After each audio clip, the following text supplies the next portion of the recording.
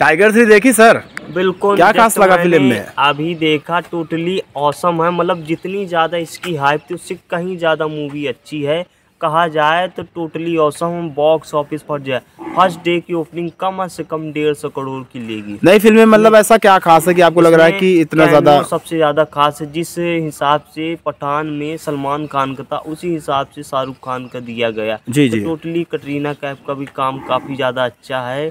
और इमरान हाजमी तो बहुत ही ज़्यादा विलन के तौर पे बहुत ही ज़्यादा जी जी। फ़िल्म में कोई डिसअपॉइंट करने वाली चीज़? बिल्कुल ऐसा कुछ भी नहीं बल्कि ये मूवी शुरू से लेके एंडिंग तक आपको जोड़े रखती है। मतलब मैं तो एक बार और देखने जाऊँगा इतनी ज़्यादा खास है मूवी अच्छा। दीपावली के तौर पे ये बताइए ये फ़िल्म आपको कहाँ से अच्छी लगती है? इंटरवल के पहले इंटरवल के बाद? शुरू से लेके मतलब कहानी इतनी उलझी हुई है बहुत जब फैमिली इमोशन बहुत अच्छे दिखाए गए देशभक्ति।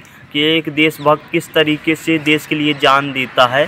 तो टोटली औसम है। मेरे हिसाब से जब इसका स्पाई यूनिवर्स आएगी तब तो आग लगा दी थी बहुत शाहरुख खान के कैमियो पे आपने क्या कहा? मतलब फ़िल्म क्या लगा आपको?